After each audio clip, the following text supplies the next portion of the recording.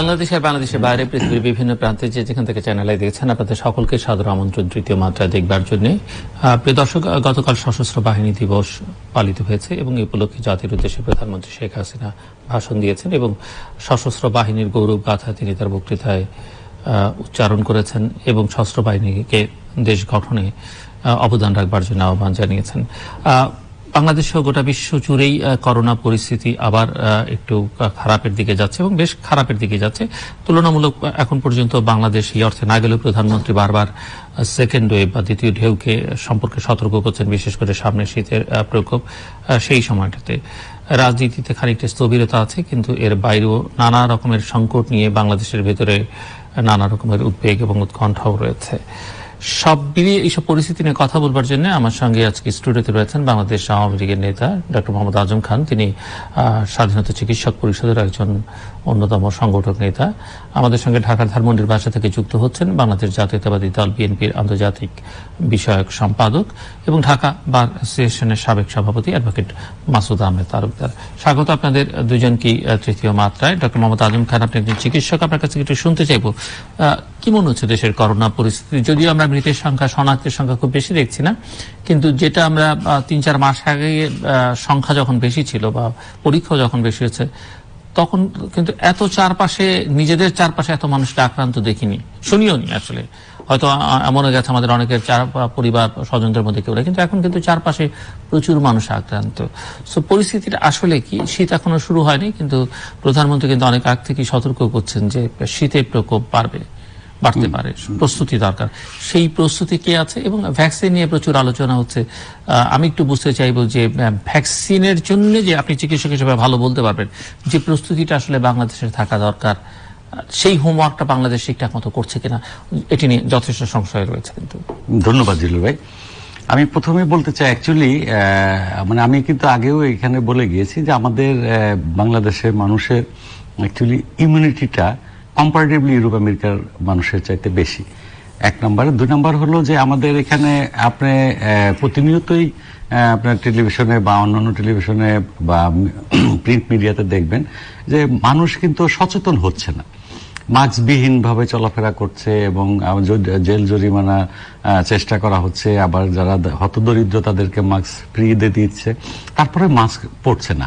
আর এখন একটা জিনিস মানে আমাদেরকে বুঝতে হবে যে এই ভাইরাসটা যেহেতু দেখা যায় না দেখা যাচ্ছে না, তো আমাদেরকে এই ভাইরাসের বিরুদ্ধে প্রথমে আমাদের স্বাস্থ্য সচেতনতা মানে মেনটেন করে প্রতিরোধ করতে হবে।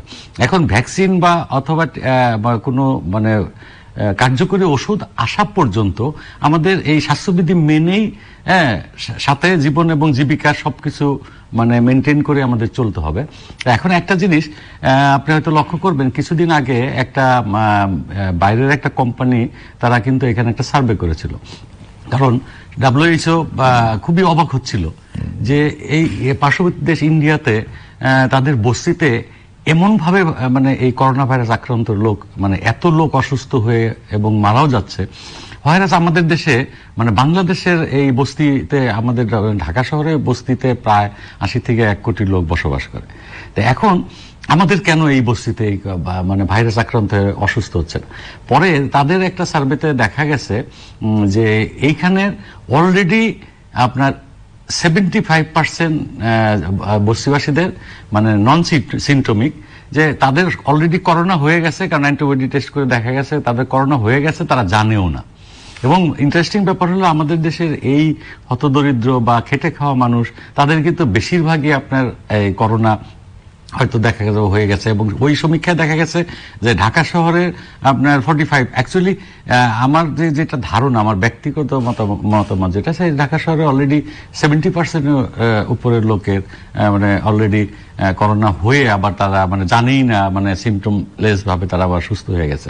তা না হলে এইভাবে মনে করেন যে যেইভাবে সারা বিশ্বব্যাপী যে আক্রান্ত হয়েছে আপনি একটা জিনিস চিন্তা করেন যে আমাদের বিভিন্ন উন্নত দেশগুলোতে প্রতিদিন আপনার করোনার যে টেস্টটা সেটা এক কোটি দেড় কোটি টেস্ট একদিনে করে। ফলে তাদের যে সংখ্যাটা যেটা বের হয় তাই আমরা যেহেতু এই এই এখনও এই বিভিন্ন কারণে আর সাথে আরও কিছু কারণ আছে।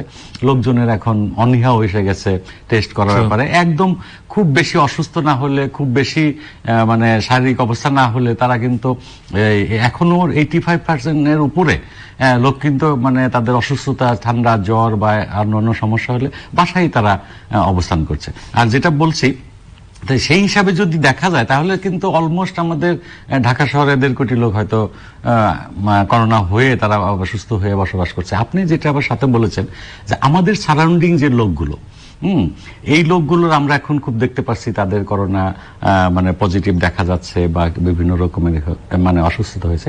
অ্যাকচুয়ালি আপনি, আমি এটা মানে আমি আপনাকে বা আমাকে বা বাসুদ ভাইকে ইন্ডিকেট করে বলছি না, আমাদের একটা শ্রেণির লোকজন কিন্তু একটা টাইমে মানে পারত পক্ষে ঘর থেকে বের হয় না এখন যেহেতু সবকিছুই নর্মাল হয়ে গেছে, এখন সিনেমা হল পর্যন্ত চালু হয়ে গেছে তাই লোকজন কিন্তু বের হচ্ছে যার জন্য কিন্তু এই আমাদের সারাউন্ডিং এর লোকের এখন একটু অসুস্থ হলে আর আমাদের সারাউন্ডিং এর যারা আমাদের বেশি ক্লোজ আমার ব্যাপারটা ভিন্ন হ্যাঁ যেহেতু আমি এলাকার বিভিন্ন লোকের সাথে যোগাযোগ করছি। যা আমার এলাকার লোকজন তো কখনোই মাস্কও পরে নাই তারা বিশ্বাসও করে না করোনা বলে কি আছে। তারা বরাবরই একেবারে নর্মাল ভাবে চলেছে। খুব ওইখানে খুব অল্প লোকের করোনা পজিটিভ পাওয়া গেছে যারা নাকি ইন্টারেস্টেড হয়ে টেস্ট করেছে। কিন্তু টেস্ট করে দেখা গেছে হসপিটালে যাওয়ার মতো লোক পাওয়াই যায় না। সবাই এমনি দু একদিন পর একা একাই সুস্থ হয়ে আবার যাদের, যার যার কাজকর্মে চলে গিয়েছে। তাই আমি বলছি যে এরা, আমরা যা, আমাদের সারাউন্ডিং যে লোকগুলো আছে, তারা স্বাস্থ্য সচেতন বিধায়। তারা কিন্তু মানে একটু অসুস্থতা হলে এই টেস্টগুলো করছে এবং সেটাতে আপনার অনেকেরই পজিটিভ হচ্ছে। তবে একটা আল্লাহ রহমতে একটা সুখবর যে সেটা হলো যে এই যে আমাদের সারাউন্ডিং এর লোকগুলো যে মানে করোনা পজিটিভ যে ধরা পড়ছে তারা কিন্তু বেশিরভাগই বাসায় থেকে হ্যাঁ মানে আইসোলেশনে থেকে তারা কিন্তু বেশিরভাগই সুস্থ হয়ে যাচ্ছে। খুব কম সংখ্যক আছে যাদের আদার মানে প্রবলেম আছে কমপ্লিকেশন আছে তাদেরকে হসপিটালাইজ যেতে হচ্ছে। এখন তারপরেও কিন্তু আমাদের যেই পরিমাণের মানে আইসিইউ মানে বা অথবা এই করোনা যেই মানে বেডগুলো আছে, সেটা কিন্তু এখনও সেভেন্টি ফাইভ পার্সেন্ট ফাঁকা আছে। যদিও এই গত দুই তিন দিনে এই হসপিটালগুলোর উপরে একটু চাপ বেড়েছে, কারণ রোগী ভর্তির সংখ্যা বা শনাক্তের সংখ্যা একটু বেড়েছে এবং মৃত্যুর হারটাও কিছুটা বেড়েছে। তো এখন সবকিছু মিলে, হুম, আমাদের এই যে যেমন আমি আপনি যেটা বললেন যে এই পরশু দিনের মানে আমেরিকার একটা ওরা ওদের যে যে এক্সপার্ট যারা আছে তারা কিন্তু একটা জিনিস বের করেছে যে আগামী মার্চ মাসের মধ্যে আমেরিকাতে কমপক্ষে মানে চার লক্ষ সত্তর হাজার লোক মারা যাবে প্লাস চার লক্ষ সত্তর হাজার মিনিমাম এটার সাথে প্লাস তারা এবং অনেকে অনেকে সাড়ে পাঁচ লাখ। তার মানে অলরেডি আড়াই লাখ মারা গিয়েছে তার মানে আরও আড়াই লাখ বা তিন লাখ সেখানে মারা যাবে তাদের অ্যাসেসমেন্ট অলরেডি হয়ে গেছে। সেটা আমি আগেই বলেছি যে এটা একটা ইমিউনিটির ব্যাপার আছে। আমরা যেহেতু খেটে খাওয়া লোক আমাদের দেশের বেশিরভাগ মানুষই মানে তাদের জীবন জীবিকার জন্য যে যে যুদ্ধ করে আসছে। আর সাথে আমরা যেই পরিমাণে এয়ার পলিউশনের মধ্যে সার্ভাইভ করে বেঁচে আছি, প্লাস আপনার আমরা যেই ফরমালিনযুক্ত ভেজাল খাবার খেয়েও, কারণ অনেক অভিযান চালিয়েও এগুলা থেকে আমাদের কিছু কিছু অনৈতিক লোকজনের কারণে আমাদেরকে অনেক রকমের খাবার খেতে হয়। সেইগুলো খেয়ে যে আমরা যে সার্ভাইভ করে আছি, হয়তো সেটা প্লাস হলো আল্লাহর অশেষ রহমত যে আমাদের উপর আল্লাহর বিশেষ রহমত বিধায় এই আমাদের এখানে আক্রান্ত মৃতের সংখ্যাটা ভ্যাকসিন নিয়ে কোনো কিছু বলবেন কিনা? ভ্যাকসিন আসলে আমি বলতেছি দেখেন একটা মজার ব্যাপার হলো আমাদের দেশের লোক কিন্তু ভ্যাকসিন নিয়ে অনেক চিন্তা ভাবনা বা ভ্যাকসিন এই ভ্যাকসিন ভ্যাকসিন আশা করতেছে। অথচ দেখেন আপনি ইংল্যান্ডে বা বা আমেরিকাতে ভ্যাকসিন নিয়ে কিন্তু অত বেশি ওরা মাথা ব্যথা করছে না। কারণ হলো কি এই ভ্যাকসিনের অ্যাকচুয়ালি কার্যকারিতা যদি আপনি যদি মানে অ্যাবসলুটলি চিন্তা করেন আগামী বছরের নভেম্বর ডিসেম্বর আগে মানে পারফেক্ট কার্যকারিতা বোঝা যাবে না। যার জন্য ওনারা কিন্তু এই ভ্যাকসিনের চাইতে এটা এই প্রিভেনশনের দিকে বেশি মনোযোগী। এবং ইভেন আমরা আমরা ইংল্যান্ডের ভ্যাকসিন নিয়ে অনেক মানে অনেক রকম কথাবার্তা বললাম চুক্তি করলাম বা ইন্ডিয়ার সাথে। কিন্তু স্বয়ং ইন্ডিয়াতে মানে ইংল্যান্ডে কিন্তু এটা নিয়ে খুব বেশি ভ্যাকসিন নিয়ে বেশি ওরা আলোচনা করছে না।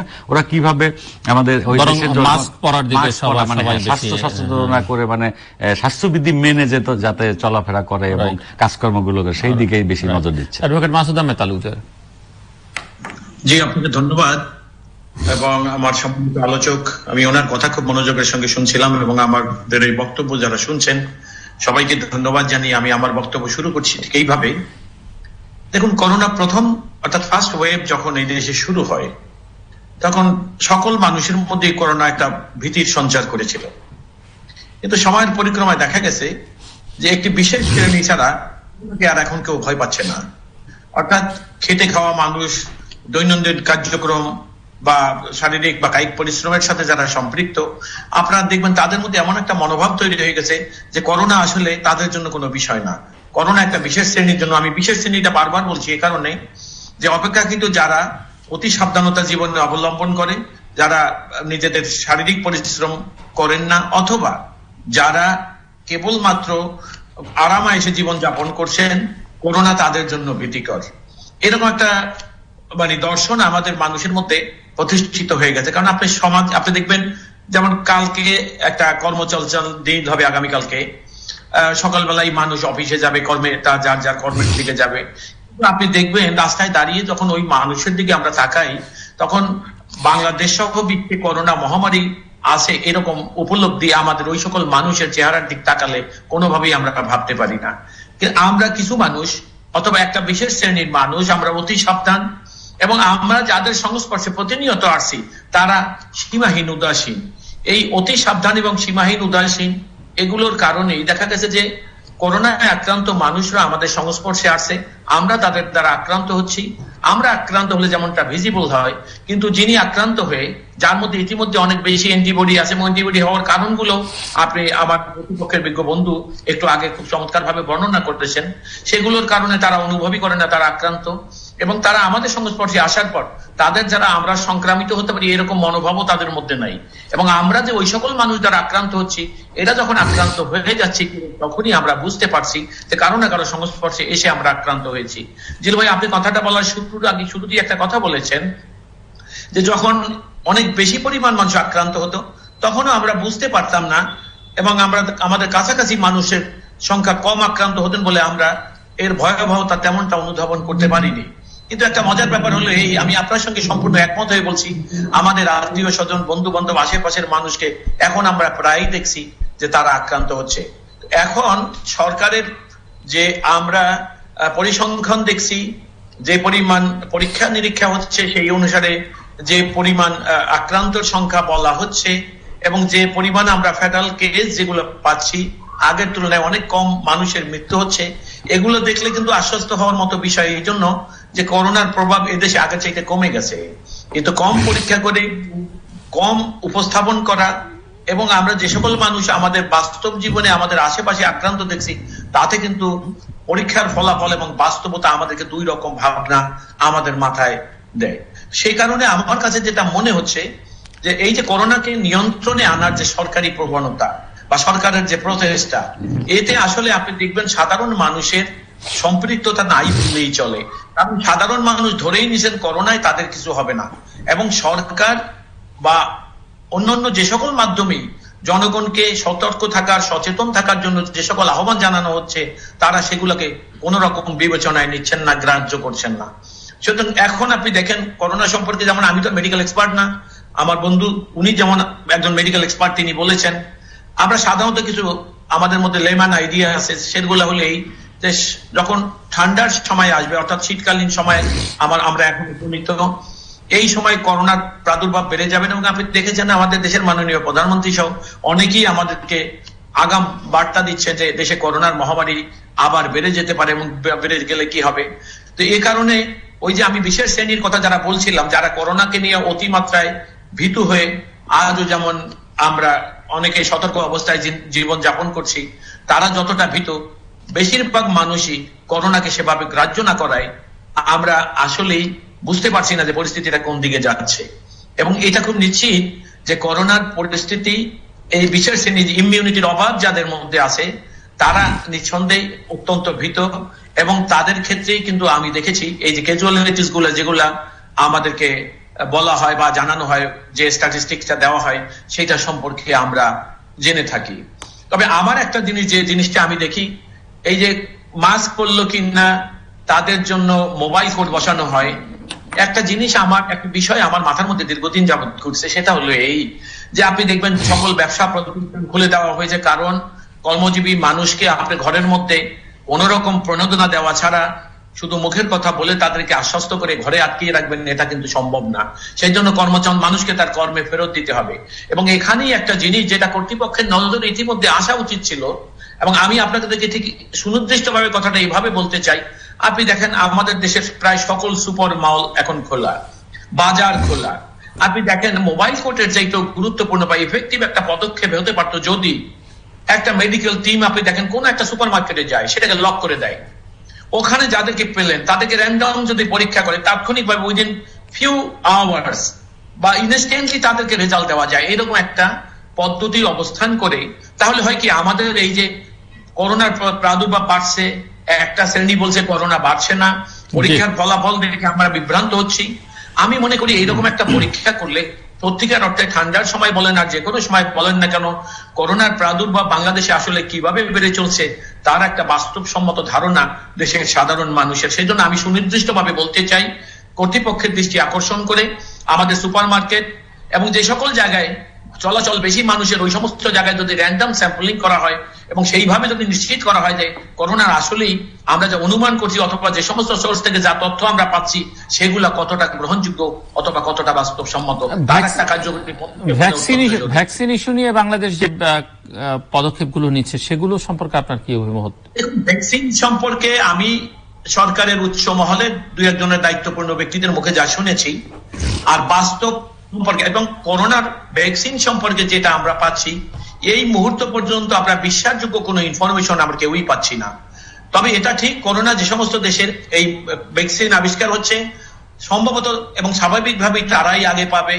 আর বাংলাদেশ এই করোনা ভ্যাকসিন সংগ্রহ করবে এবং সংগ্রহ করার যে সকল পদ্ধতি এবং যে সকল বিষয়সমূহ কার্যক্রম আমাদের সম্পর্কে উপস্থাপন করা হচ্ছে, সেটা খুব আশাব্যঞ্জক আমি মনে করি না ব্যক্তিগতভাবে এবং সেটার উপরে এই মুহূর্তে আস্থা আনার মতো কোনো কার্যকরী পদক্ষেপ সরকার গ্রহণ করেছে বললে আমাদের কাছে বা সাধারণ মানুষের কাছে সেরকম কোনো তথ্য যেহেতু আদান প্রদান হয়নি বা আমরা জানি না, সেই জন্য এটার উপরে এতটা আস্থা আনার খুব একটা যুক্তিসঙ্গত কারণ আমি খুঁজে পাচ্ছি না। আমি, আপনি ধন্যবাদ মাসুদ ভাই। আপনার শেষ কথা দিয়ে আমি শুরু করছি। অ্যাকচুয়ালি ভ্যাকসিনের ব্যাপারটা আমাদের আপনি একটা জিনিস লক্ষ্য করবেন যে আমাদের দেশে কিন্তু বিভিন্ন রকমের টিকা দান অথবা বিভিন্ন রকমের যে পোলিও বা অন্যান্য যে ইয়েগুলো, তো আমাদের দেশের লোকজনের কিন্তু অনেক সফলতা আছে। এবং সারা বিশ্বব্যাপী কিন্তু এটা স্বীকৃত যে আমাদের এই সব এক্সপার্টেশনের অন্যান্য দেশের চেয়ে অনেক বেশি। সেক্ষেত্রে আমাদের ভ্যাকসিনটাও যখন মাজারে এসে যাবে, তো এই ভ্যাকসিনটা যখন এসে যাবে, আমরাও কিন্তু প্রথমেই ভ্যাকসিনটা পাবো। তো আমরা ভ্যাকসিনটা পাবো এবং আশা আমরা আশাবাদী এবং সরকার কিন্তু এই ভ্যাকসিন কীভাবে, এটা কিন্তু সাধারণ ভ্যাকসিনগুলোর মতো নয়। এটা প্রিজার্ভেশনের জন্য স্পেশাল মানে আপনার টেম্পারেচার মেনটেন করতে হবে। এটা আবার টিকাটা দিতে হবে, একবার না দুবার দিতে হবে। তো এই জিনিসগুলো মেনটেন করার জন্য অলরেডি সরকার বিভিন্নভাবে পদক্ষেপ নিচ্ছে এবং বিভিন্নভাবে সেই টিমগুলো তৈরি করছে। যাতে ভ্যাকসিন আমাদের, যা- যখন পৃথিবীর সব সমস্ত জায়গায় এসে যাবে তখনই আমরা যে, যখন ভ্যাকসিন মার্কেটে আসবে, তখন আমরাও ভ্যাকসিন পাবো। তবে একটা জিনিস অনেক অনেক হইচই হলো যে কেন চায়নার ভ্যাকসিন নেওয়া হলো না, অনেক রকম রাজনৈতিক বক্তব্য দেওয়া হলো। কিন্তু আপনাকে লক্ষ্য করবেন যে চায়নার ভ্যাকসিনটা ব্যাপারে তারা কিন্তু খুব অল্প সংখ্যক আমাদের ফ্রি দিতে চেয়েছে। আবার এরপরে এখানে যে ইনভেস্টিগেশন বিনিয়োগ করতে হবে। হ্যাঁ বিনিয়োগ করতে হবে আমাদের টাকা দিতে হবে এবং সেই আবার ভ্যাকসিনের দামটা আকাশচুম্বী। এক একটা ভ্যাকসিনে বারো তেরো হাজার পড়বে যেখানে আমরা এই যুক্তরাষ্ট্রে যুক্তরাজ্যের যে ভ্যাকসিনটা আমরা আমাদের হয়তো তিন ডলারে বা আরও কমে হয়তো পাবো এবং বেশি পরিমাণে ফ্রি পাবো। যাই হোক সব সবকিছু মিলে ভ্যাকসিন আমরা পাবো এবং আমাদের সেই ভ্যাকসিন দেওয়ার ব্যাপারে আশা করি যে আমাদের যে মানে ঢেলে সাজানো হচ্ছে বিভিন্ন ভাবে যাতে সেগুলাকে দেওয়া হয়। এবং প্রায়োরিটি বেসিস সারা ওয়ার্ল্ড ওয়ার্ল্ড যেভাবে প্রায়োরিটি বেসিসে যারা যারা পাওয়ার প্রথমে ফ্রন্ট লাইন ইয়েরাই পাবে ভ্যাকসিন এবং আশা করি যে ভ্যাকসিনগুলো আমরা প্রপারলি দিতে পারব। আর একটা জিনিস হলো প্রণোদনা দেওয়ার কথা যেটা মাসুদ ভাই বলল যে প্রণোদনা দেয় নাই। আমি একটু সংশোধন করে দিচ্ছি মাসুদ ভাইকে যে এক লক্ষ বিশ হাজার কোটি টাকার মতো কিন্তু প্রণোদনা দেওয়া দিয়েছে বিদায়। আমাদের এই অর্থনৈতিক চাকাটা কিন্তু মানে দেশের খুব সুন্দরভাবে চলছে। সেটা আমি আর একটা কথা বলি, যে আবার মাসুদ ভাই বলেছে যে পরিসংখ্যান আর পরীক্ষার কম। হ্যাঁ তো পরিসংখ্যান এবং পরীক্ষা কমে যেটা বলেছেন, যে এখন আসলে মানুষের যে হুমড়ি খেয়ে মানে আমাদের যেই মানে এখন পর্যন্ত পরীক্ষা করার যে মানে অবস্থাটা আছে বা সামর্থ্যটা আছে তার চাইতে কম লোক কিন্তু পরীক্ষা করতে। এখন কিন্তু কোথাও দেখবেন না যে বিশাল লাইন দিয়ে হয়তো হ্যাঁ কয়েকটা কেন্দ্রে যেমন হয়তো বঙ্গবন্ধু মেডিকেল বিশ্ববিদ্যালয় বা এরকম কয়েকটা জায়গায় একটু বেশি ভিড় হচ্ছে কিন্তু বেশি- বেশিরভাগ জায়গায় কিন্তু ওই সকাল থেকে দুপুরের মধ্যে আর কোনো লোক খুঁজে পাওয়া যাচ্ছে না করোনা টেস্ট দেওয়ার জন্য। তাই মানুষেরও এখন ওই যে যেটা মাসুদ ভাই বললে সেটা আমি আসছি। আর একটা জিনিস হলো একটা জিনিস লক্ষ্য করতে হবে যে এক একজন করোনা ভাইরাস আক্রান্ত রোগী যদি একটা একটা হাঁচি দেয় তাহলে কিন্তু একবারে সেটা দুই কোটি ভাইরাস একবারে বেরিয়ে যায়। হ্যাঁ তো এটা একটা মারাত্মক একবার কয়েকবার হাসি দিলে মানে কত কোটি বেড়ে যায়। তো এখন যেটা হলো মাসুদ ভাই যেটা বলল যে এই যে মানে এই মাস্ক পরানোর যে বাধ্যবাধকতা মার্কেটে যে আমাদের আমাদের তো দূরের কথা ইউরোপ আমেরিকার মতো দেশে তারা তাদের এত স্বাস্থ্যকর্মী নাই যে আপনি একটা জিনিস দেখবেন প্রথম দিকে ইটালিতে আপনার সেভেন্টি আপের কোন রোগীকে হসপিটালে ওরা মানে গ্রহণই করে নাই। মানে ওদের অবস্থা যদি এটা হয় তো সেই তুলনায় আমাদের বাংলাদেশে কিন্তু আমরা যথেষ্ট চেষ্টা করছে। এখন আবার আমাদের এই হসপিটালগুলো তারপরেও ফাঁকা পড়ে আছে। সবাই মাসুদ ভাই যেটা বলল যে আমিও বলে গিয়েছি যে বাঙালি আসলে বীরের জাতি সেটা কিন্তু প্রমাণ করে দিচ্ছে। তারা হসপিটালে না যেয়ে আর একটা জিনিস আমি বলি করোনা ভীতি এটা কিন্তু মাসুদ ভাই আপনাকে চিন্তা করতে হবে যে একটা মানে লিডারশিপের যে মানে দূরদর্শিতা হ্যাঁ সেই দূরদর্শিতার উপরে কিন্তু এখন সারা বিশ্বের বিভিন্ন নেতারা আমাদের জননেত্রী শেখ হাসিনার এই দূরদর্শিতা হ্যাঁ, চিন্তা করে তারা মানে খুব অবাক হচ্ছে। সেটা কি জিনিসটা? যে জননেত্রী শেখ হাসিনা কি করেছে? মানে এই করোনাটা করোনার যে ভীতিটা উনি জাস্ট কিছুদিন বন্ধ দিয়ে তারপরে কিছু কিছু জায়গায় খুব অল্প সংখ্যক জায়গায় লকডাউন দিয়ে লোকজনের মধ্যে প্রচার করে মানুষের মানুষের মধ্যে থেকে আস্তে আস্তে এই ভীতিটাকে মানে সরিয়ে নিয়েছে। এবং করোনার প্রধান ওষুধ হ্যাঁ প্রধান ওষুধ হলো ইমিউনিটি তৈরি করতে হলে মেন্টাল মানে যে উইল পাওয়ারটা সেটাকে অনেক আপগ্রেড রাখতে হবে। তাই মানুষের মধ্যে যে এই যে ভীতিটা চলে গেছে হ্যাঁ এবং এখন বিশ্বের বিভিন্ন মানে ডাব্লিউএসও বা বিভিন্ন অর্গানাইজেশন চিন্তা করছে যে বাংলাদেশের মানুষের মধ্যে থেকে যে ভীতিটা সরিয়ে ফেলার জন্য মানে সংক্রমিত হলেও তাদের মানে মানে সার্ভাইভাল ক্ষমতা অনেক বেড়ে গেছে বিকজ তাদের উইল পাওয়ারটা অনেক বেশি হয়েছে। তা- তাই বলছি যে আমাদের নেত্রী এমনভাবে আমাদের দেশে মানুষের মধ্যে এই জিনিসটাকে মোকাবেলা এবং সাহস সঞ্চয় করে জীবন জীবিকা সবকিছু করার জন্য যেটা করেছেন ওইটা বিধাই আজকে মানুষ মানে এখন মানে এখন অর্থনৈতিক চাকা মানে একটা ঘুরতে শুরু করেছে। যদিও অনেকে মানে চাকরিচ্যুত হয়েছে, অনেকে এখনও কষ্ট করছে। আমাদেরকে সে- আমরা চেষ্টা করছি যে সেটা সেগুলোকে সবকিছুকে ঠিকঠাক করে একটা মানে সুন্দর পরিবেশ তৈরি করার জন্য। মাসুদ আপনি শুনছিলেন, আপনি বলবেন, কিন্তু আমার প্রশ্ন আপনার কাছে যে এই করোনা আসলে আমাদেরকে কি শিক্ষা দিল? এবং আমরা আসলে করোনা আমাদেরকে, আমাদের মধ্যে কোনো রকমের পরিবর্তন আনতে পারল কিনা, যেটা খুবই প্রয়োজনীয় বলে অনেকেই মনে করেন। জি, আপনাকে ধন্যবাদ এই প্রশ্ন করার জন্য। আপনাকে আমার ব্যক্তিগতভাবে উপলব্ধি হলো এরকম যে করোনা থেকে আমাদেরকে, আমরা কোনো শিক্ষা নিতে পারি না, এটাই বোধহয় আমাদের জীবনের সবচেয়ে বড় শিক্ষা। কারণ, আপনি দেখেন করোনা আসলে আমাদেরকে কি শেখায়? করোনার সময় আমরা যে জিনিসটা, করোনার ইনিশিয়াল ডেটসে আমরা কি দেখেছি? সারা বিশ্ব এক হয়ে গেছে। মানুষের মধ্যে মানুষের মমত্ববোধ, ভ্রাতৃবোধ, অপরাধ প্রবণতা থেকে মানুষ সরে আসা। কিন্তু আমাদের সমাজ ব্যবস্থার যে প্রেক্ষিত আজ আমাদের সামনে, সেগুলো দেখেন, আমরা যদি সেই দিকে তাকাই, তাহলে দেখা যাবে যে আমাদের সমাজ ব্যবস্থা করোনা আমাদেরকে কিছুই শেখাতে পারে নাই। বরং আমরা আগে যে উচ্ছৃঙ্খল জীবন যাপন করেছি, আমরা যে অনাচার করেছি, তার মাত্রা বরং দিনে দিনে বেড়ে গেছে। আপনি আজকের একটা ঘটনা দেখেন, একটু আগে আমি দেখেছি যে টেলিভিশন সংবাদে আমি দেখেছি যে দুর্নীতির কি উলঙ্গ চেহারা একটু আগে আমাদের কাছে, আমাদের র্যাপিড অ্যাকশন ব্যাটালিয়ান আমাদের কাছে উপস্থাপন করেছে। এই যে বিষয়গুলো, অর্থাৎ করোনা হলো কি, মানুষের কাছে যদি মৃত্যুর ভয় থাকে, মানুষ যদি মনে করে যে আমরা অনাচার করেছি অপরাধ করেছি সে কারণে আমাদের উপরে এরকম দুর্যোগ নেমে আসে। মানুষ যদি সেই কথা ভেবে সতর্ক হয়, তাহলে দেখবেন একটা ঐক্যবদ্ধ মানুষ, ঐক্যবদ্ধ জাতি। তবে এটা নিশ্চিত, একটা জাতি ঐক্যবদ্ধ হতে হলে তার অনেকগুলা পূর্ব শর্ত থাকে, যেগুলো আমাদের ব্যক্তি বা জাতীয় জীবনে দারুণ ভাবে তার অভাব। এবং সে কারণে দেখবেন আমরা কথা সর্বস্ব মানুষ আজ কেউই আমাদের জীবনে ঐক্যবদ্ধ জীবন আমরা আসতে পারি না ঐক্যবদ্ধ জাতীয় জীবন আমাদের নেই। যেমনটা জাতির প্রয়োজনে বহুবার হয়েছিল, যেমনটা হয়েছিল উনিশশো সত্তর সনে, একাত্তর সনে। অথবা পরবর্তী সময় হয়েছিল, কিন্তু আপনি দেখবেন আজকে আমরা বিক্ষিপ্ত একটা জাতি, যে যার মতো করে যার যার অবস্থান থেকে চলছি। আমরা, সুতরাং করোনা আমাদেরকে কিছু শিখিয়েছে। এরকম সান্ত্বনা পাওয়ার মতো কোনো কারণ আমি আজও খুঁজে পাইনি। তবে এটা নিশ্চিত আরেকটা কথা আমাকে বলতে হচ্ছে, দেখেন, আমার বন্ধু যেটা বলেছেন যে সরকার প্রণোদনা দিয়েছে আর আমি সেটা ভুলে গেছি, কথাটা ঠিক সেই রকম নয়। সরকার প্রণোদনা দিয়েছেন কাদেরকে? যাদের প্রণোদনা প্রণোদনার প্রয়োজন ছিল না তাদেরকে। যারা হাজার হাজার কোটি টাকা ব্যাংক থেকে লোন নিয়ে সেই টাকা কখনো ব্যাংকে ফেরত দিচ্ছেন না, তারা শিল্প প্রতিষ্ঠান করেছেন, প্রণোদনা তাদেরকে দিয়েছেন। কিন্তু সমাজের খেটে খাওয়া মানুষ, যারা উশৃঙ্খল মানুষের মতো প্রতিদিন সকালবেলা মরিয়া হয়ে বাসা থেকে বেরিয়ে কর্মের সন্ধানে ছোটে, ওই সকল মানুষ কিন্তু প্রণোদনা পান নাই। বস্তিবাসী প্রণোদনা পান নাই। যা দেওয়া হয়েছে, তার চাইতে বলা হয়েছে বেশি। এবং সে কারণেই কিন্তু আজকে দেখবেন আমরা মনে করছি সমাজের খেটে খাওয়া মানুষ আর আমরা একটা, আমাদের প্রতিপক্ষ তারা। এবং আমরা একটা রিক্সাওয়ালা রিক্সায় উঠছি, কিন্তু ভয় পাচ্ছি এই লোকটা বোধহয় আক্রান্ত। আর আবার তার রিক্সায় না উঠেও আমরা পারছি না। আমরা গাড়ি চালিয়ে যাচ্ছি, আমাদের ড্রাইভার আমাকে গাড়ি চালিয়ে নিচ্ছে, আমার ভয় হচ্ছে, আমার ড্রাইভার যেখানে থাকে, সে বোধহয় আক্রান্ত হয়ে প্রতিদিন আমাকে নিচ্ছে। তো এই যে দেখেন, আমাদের উপলব্ধি এবং বিশ্বাস এবং আমাদের কর্মের মধ্যে যে ফারাকগুলো প্রতিনিয়ত আমাদের চোখে আসে, আমরা কিন্তু সেগুলাকে অযৌক্তিক ভাবে উপেক্ষা করে যাচ্ছি। কিন্তু এগুলোকে সমাধান করার জন্য যে কার্যকরী পদক্ষেপ, তা কিন্তু আমরা নিতে পারছি না, নিচ্ছি না। সেই জন্য প্রণোদনা যাদের পাওয়ার কথা ছিল, তারা প্রণোদনা পায়নি এবং পায়নি বলেই আজকের গরিব মানুষ এত মরিয়ে হয়ে মাঠে নেমেছে, কর্মসংস্থান করে তাদের পরিবারকে সমর্থন করার জন্য, পরিবারকে প্রতিপালন করার জন্য।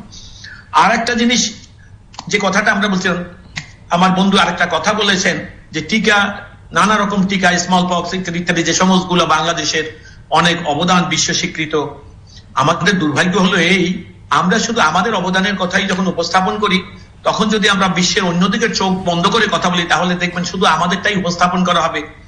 এই টিকার যে সকল আপনি হামের বলেন বা যেটাই বলেন, বিশ্বে আমরা বরং হ্যাঁ আমরা কামিয়াব হয়েছি, এটা সত্যি কথা। তবে আমরা, আমাদের সমাজ ব্যবস্থায় অনেক বিশ্ব সমাজ ব্যবস্থার অনেক পরবর্তীতে এগুলো আমাদের সমাজ ব্যবস্থায় আমরা অ্যাপ্লাই করেছি এবং সাবসিকুয়েন্টলি আমরা কার্যকর হয়েছি। কিন্তু তার আগে, সুতরাং আমরা, এটা আমাদের অ্যাচিভমেন্ট খুব স্টার অ্যাচিভমেন্ট তার না, তার আগে বহু জাতি, বহু বিশ্বের বিশ্বের বহু লোক বা বহু দেশ, তারা আগে তাদের এই সমস্ত কার্যক্রমে কামিয়াব হয়েছে।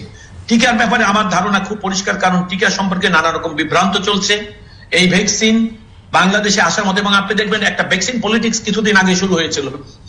আমরা আমেরিকার তৈরি ভ্যাকসিন একটা তৃতীয় দেশের মাধ্যমে বাংলাদেশে আমরা পাবো কিনা, সেই জন্য সেই দেশের সরকারের গুরুত্বপূর্ণ লোক এখানে দুতিয়ালি করতে এসেছিলেন। আমাদের মিডিয়ার মাধ্যমে আমরা দেখেছি যে আরেকটি দেশ যারা ভ্যাকসিন আবিষ্কার করার দাবি সর্বপ্রথম করেছিলেন, সেখান থেকে জানা আমাদের নিউট্রাল ব্যবহার। এবং এখানে কিন্তু আমরা নিশ্চিতভাবে ভ্যাকসিন কবে পাচ্ছি, কোন দেশ থেকে পাচ্ছি তার কিন্তু সুনির্দিষ্ট ধারণা এখনও নাগরিকদের কাছে নেই। এবং যাদের এটা দায়িত্ব নাগরিকদেরকে আশ্বস্ত করা, তারাও করতে পারছে না। আপনি দেখেন, কিছুদিন পর্যন্ত একটা বিড়ম্বনা ছিল যে আমরা কি ভ্যাকসিন চীন থেকে পাচ্ছি, নাকি আমেরিকা থেকে পাচ্ছি? আমাদের আমেরিকার ভ্যাকসিন কি, ভারত আমাদের কি দিবে, নাকি অন্যভাবে আমরা পাবো, নাকি আমরা সরাসরি পাবো? এই যে বিভ্রান্তি, এটা একবার ছাড়ার পর মানুষ যে সরকার যে বক্তব্য আমাদেরকে দিয়ে আশ্বস্ত করতে চাচ্ছে তাতে আমরা আশ্বস্ত হওয়ার চাইতে বিভ্রান্তই বেশি হচ্ছে এটাই স্বাভাবিক সুতরাং। আমি আমি এক কথায় এইভাবে একটা কথা বলে এই মুহূর্তে আমি শেষ করতে চাচ্ছি সেটা হলো এই যে সরকার নিজে যদি বিক্ষিপ্ত আচরণ করে তাহলে জনগণ তার বক্তব্যে আশ্বস্ত হবে না এটাই স্বাভাবিক আর যেই, ওই যে আমি যেটা বলছিলাম, আমার বন্ধু যে কথাটা বলছে যে আমাদের এত মেডিকেল টেকনোলজি নাই, দেখুন, আমাকে বোধহয় উনি মিসআন্ডারস্ট্যান্ড করেছে। আমি যে কথাটা বলতে চাচ্ছি যে মানুষের মধ্যে পরীক্ষার প্রবণতা কমে যাওয়ার কারণে, এবং আমার বন্ধুও বলেছেন, যেটা আমিও বলেছি, যে মানুষের অ্যান্টিবডি তৈরি হওয়ার পর অনেক আক্রান্ত হচ্ছেন, তারা যেমন অনুধাবন করে না সেই জন্য আক্রান্তের সঠিক সংখ্যা নিরূপণের জন্য যদি আমরা এই সমস্ত মাস গ্যাদারিং যে সমস্ত জায়গাগুলোয় হয় সেখানে যদি র্যান্ডাম স্যাম্পলিংটা আমরা করি যেমন সুপার মার্কেট বা লোকাল বাস স্টপিস ইত্যাদি ইত্যাদি জায়গাগুলাই তাৎক্ষণিক এটা কিন্তু বেসিক টেকনোলজিস্টের দরকার হয় না। আপনি পাঁচটা টিমই ঢাকায় করেন না যাতে পঁচিশ জন সদস্য হলেই যথেষ্ট। তাকে আইন শৃঙ্খলা রক্ষাকারী বাহিনী সহযোগিতা করবেন। এবং আমরা তাহলে কি পাবো? যে ওই সমস্ত র্যান্ডাম স্যাম্পলিং এর কালেকশনে আমরা বলতে পারব যে মানুষ যেখানে মাস গ্যাদারিং হচ্ছে সেই সকল জায়গায় কত পার্সেন্ট মানুষ আক্রান্ত তার একটা পরিষ্কার ধারণা আমাদের কাছে চলে আসতে পারে। আমি- আমি, আপনি বলবেন জাস্ট আমি একটু যোগ করে দিই। একটি হচ্ছে যে মাস্কের জন্য আমরা দেখছি যে অভিযান চলছে এবং এটি করে আসলে কতটা সফল হওয়া যাবে হলে ভালো নিঃসন্দেহে সেটা একটু বুঝতে চাই আপনার কাছে। আর একটা হচ্ছে যে যেটা অ্যাডভোকেট মাসুদ আহমেদ তালুকদারকে প্রশ্ন করেছিলাম যে আমরা আসলে কতটা বদলাম কি শিখলাম?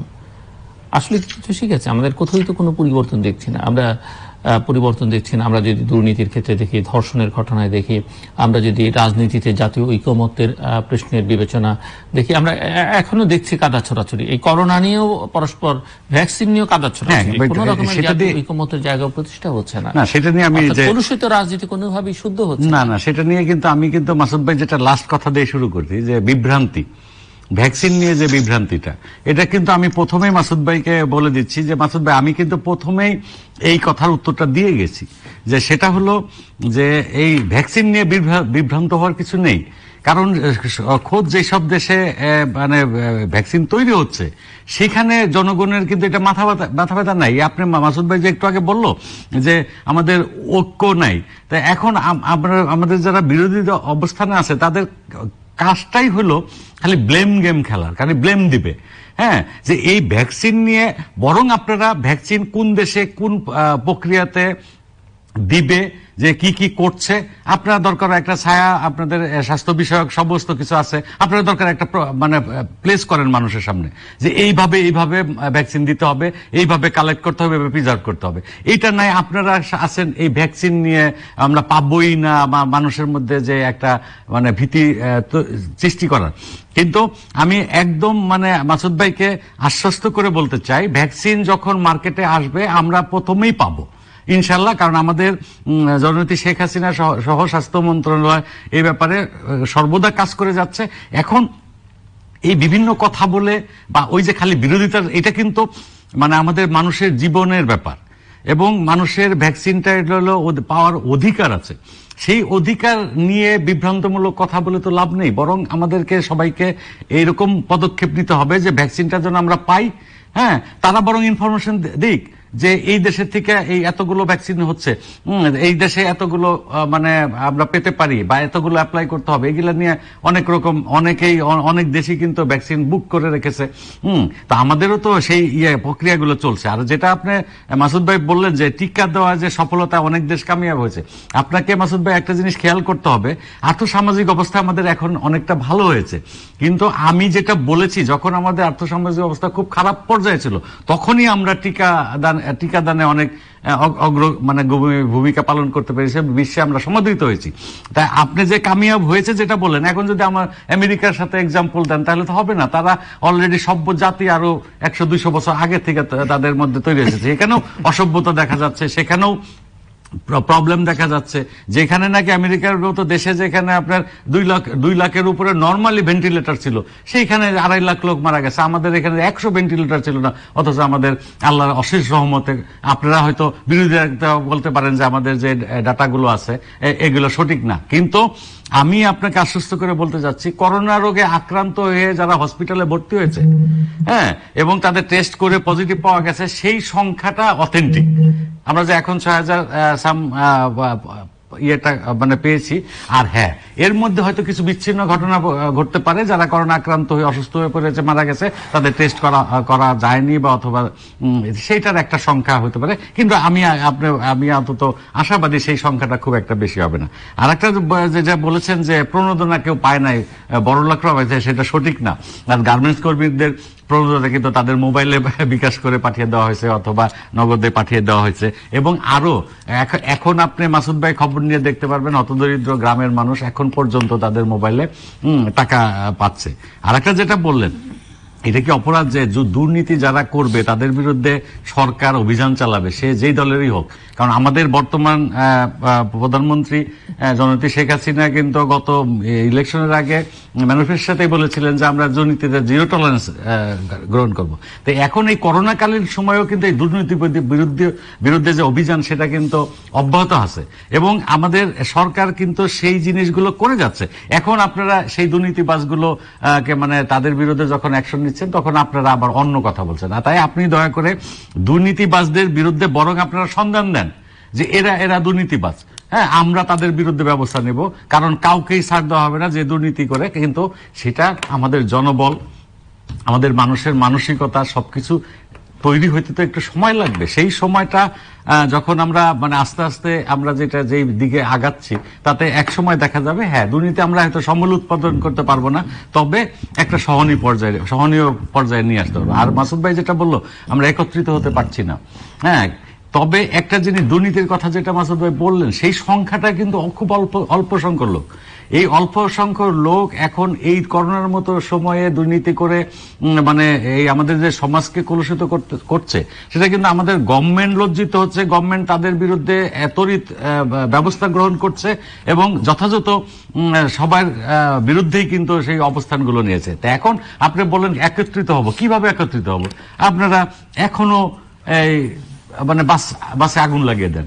হ্যাঁ ইলেকশনে আপনাদের কোনো লোক ভোট দিতে যায় না। মাসুদ আমি একটা জিনিস আমি বলি এটাই কথাটা যেহেতু বলেছেন যে আমরা একত্রিত হতে পারব না, আপনাকে দয়া করে আপনাদেরকে বলব, আপনাদের আমেরিকার কাছ থেকে অনেক কিছু শেখার আছে। আমেরিকার যে ইলেকশনটা হলো, আমেরিকার ইতিহাসে এত লোক কিন্তু কখনোই ভোট দিতে যায় না। হ্যাঁ এইবার যে ভোট দিতে গেল, সেটা কিসের জন্য? যে এই যে ট্রাম্পের পাগলামি হ্যাঁ ট্রাম্পের আমি কি যেন জিল্লু মনে আছে, এর আগে যখন ট্রাম্প ইলেকশন করছিল, যে মানে জিতলো। তখন কিন্তু সমস্ত পৃথিবীর সমস্ত মিডিয়া হুম, এবং সবাই বলেছিল যে ট্রাম্প হারবে। কিন্তু আপনার তৃতীয় মাত্রা আমি বলে গেছিলাম যে এই জন্য ট্রাম্প জিতবে, কারণ এই আমেরিকান জাতিটাই এটা একটা হারামি জাতি, কারণ ওরা ওই ট্রাম্পের মতো লোককে ভোট দিবে। কারণ হলো কি, আপনি এখনও দেখেন ওই দেশে যেখানে নাকি মানে সমস্ত লোক শিক্ষিত সেখানে এখন পর্যন্ত কীরকম অশিক্ষিতর মতো আচরণ করছে? কারণ ট্রাম্পের সেভেন্টি পার্সেন্ট সাত কোটি লোক ভোট দিয়েছে। তার সেভেন্টি পার্সেন্ট লোক এখনও বিশ্বাস করে যে ট্রাম্পই জিতেছে। তো আমি এখন যেটা বলছি শিখার শিখার ব্যাপারটা হলো আপনারা আমাদের যখন ভোট আসে আপনারা বাসে আগুন না দিয়ে বা বোমা তৈরি করে হ্যাঁ, মানে বিভিন্ন জায়গায় প্রস্তুতি না নিয়ে আপনারা বলেন, আপনারা হ্যাঁ বলেন, বলবেন যে আমাদের এজেন্ট দিতে পারি না।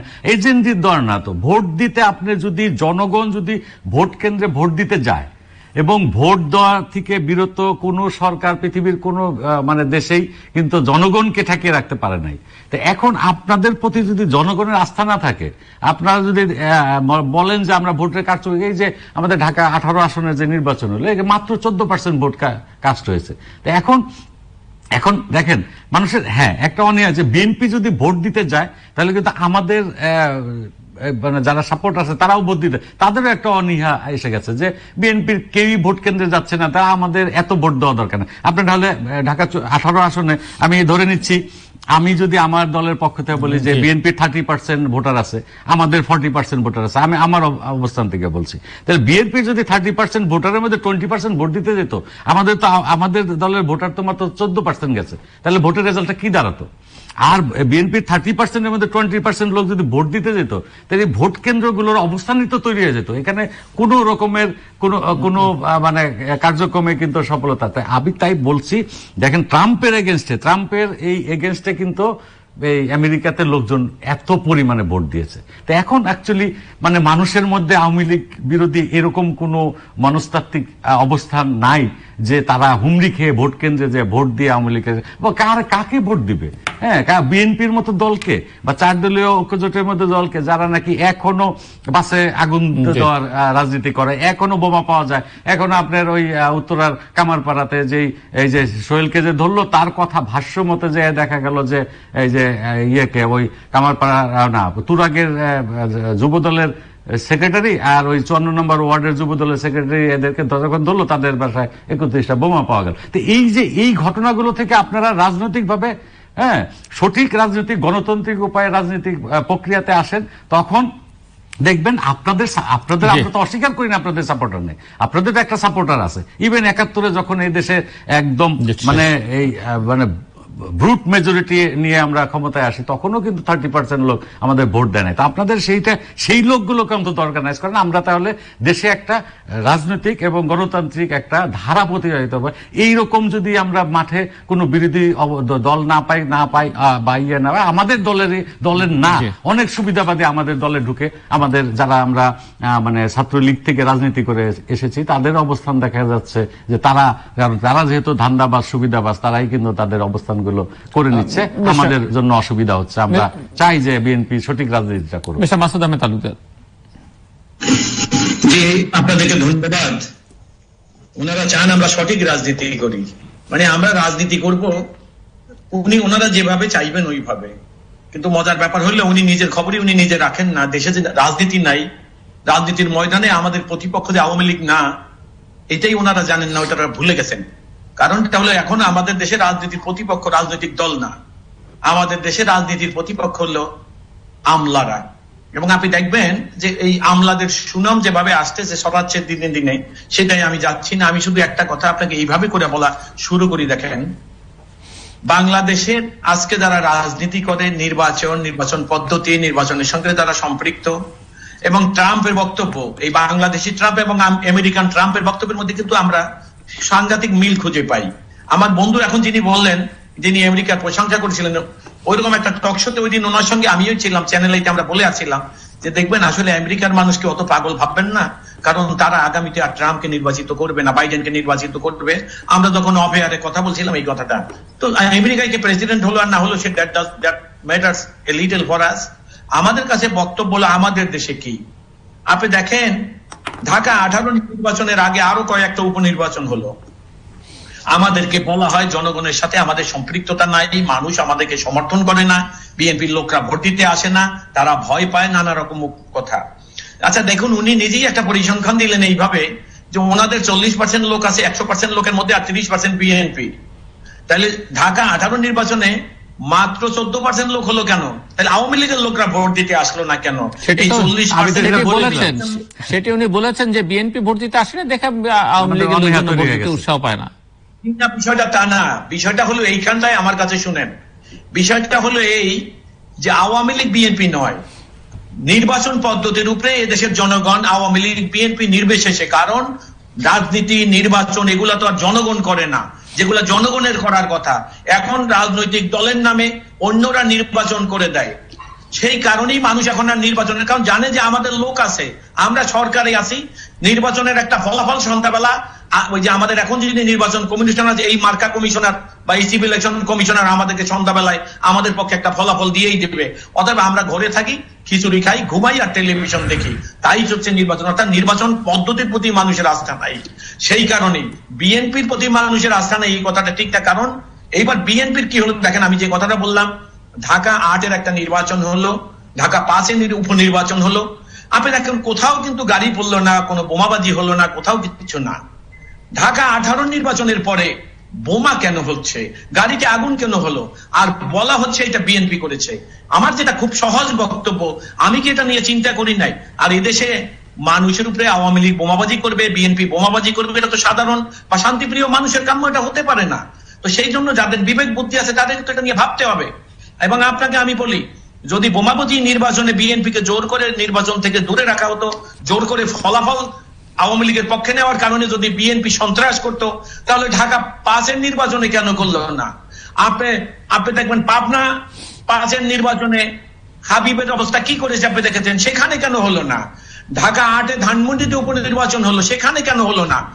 কারণটা হলো এই যে অপেক্ষাকৃত নির্বাচন পদ্ধতির সঙ্গে যখন দেখা গেল, বিরোধী দলের রাজনীতির লোকরা বেশি সম্পৃক্ত হচ্ছে, তখন এই সরকার যারা রাষ্ট্রীয় ক্ষমতায় আছেন তাদেরকে যারা চালায় তাদের মুরব্বীরা চিন্তা করলেন যে এরা তো দিনে দিনে সংখ্যাগরিষ্ঠ হচ্ছে, মাঠে নামছে, তারা রাজনীতি করতে মাঠে নেমে সাহসের সাহস প্রদর্শন করছে। তখন তারা করলেন কি, আবার দুই হাজার চোদ্দের আগের ফর্মুলায় চলে গেলেন। যখন তারা, এবং আপনি দেখেছেন, উনি তো আমাদেরকে বললে বিএনপি বোমা মারে, বিএনপির বাড়ি থেকে বোমা। আরে ভাই, বোমাকে নিয়ে যায়, কোথা থেকে উদ্ধার করে, কার নামে উদ্ধার দেখায়? সে তো আর আপনি জানেন না, যারা উদ্ধার দেখায় তাদের কথা আপনি বিশ্বাস করছেন। কিন্তু আপনি যদি বিরোধী দলে আজকে থাকতেন, অথবা যখন আপনার দল বিরোধী দলে ছিল, তখন কিন্তু এই ধরনের বক্তব্য আপনারা বিশ্বাস করেন নাই। এবং আপনি দেখেন আপনার দলের একজন মানুষ সম্পর্কে, যিনি setting member sitting member of parliament তার সম্পর্কে একজন আওয়ামী লীগের সভাপতি ওই এলাকার। তিনি বলেছেন যে উমুকে বোমাবাজি করেছে বাসে আগুন দিয়েছে। আজ পর্যন্ত অফিসিয়ালি আপনারা এটাকে কন্ট্রোভার্ট করলেন না।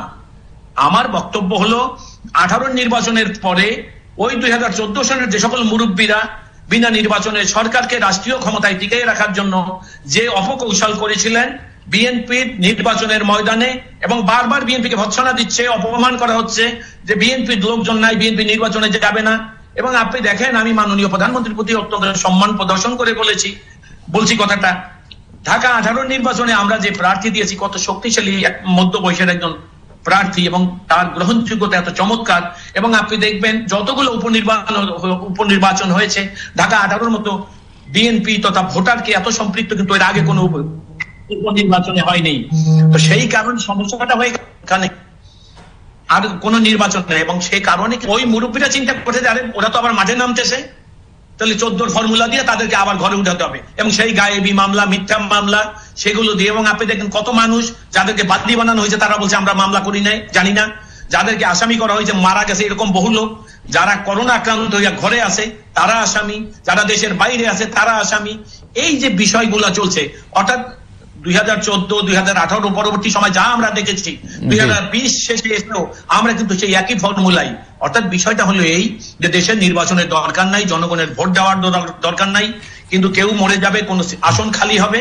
তখন আমাদের দেশের নির্বাচন কমিশন যা সরকার জনগণের বিকল্প হিসাবে বানিয়েছে এবং হিট মাস্টার ভারতের মধ্যে যে কোনো কিছু ঢুকে সন্ধ্যাবেলা একটা ফল দিবে বিএনপি চার হাজার পেয়েছে আর আওয়ামী লীগ চুয়াত্তর হাজার আমি আসছি আবার আপনার কাছে আমরা একটু শেষের দিকে